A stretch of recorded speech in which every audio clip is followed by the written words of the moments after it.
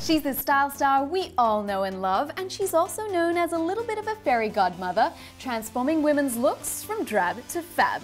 I can only be talking about the one and only Jeannie Mai, who is here in Singapore for the launch of How Do I Look Asia.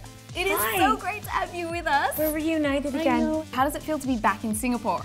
I missed Singapore. I just, I just want a good juicy bowl of laksa. How important was it for you to be a part of How Do I Look Asia? I'm going to be there kind of as the special guest. I'm just going to come in, put a little, you know, touches of love into it. I was very blessed to work with Christina Aguilera, Missy Elliott, um, Sarah Jessica Parker. Because I was the one hands on giving these celebrities the look, I realized, wait a minute, like I can teach these women at home to get that same look in their very own closets, whether you have five minutes or 50 minutes.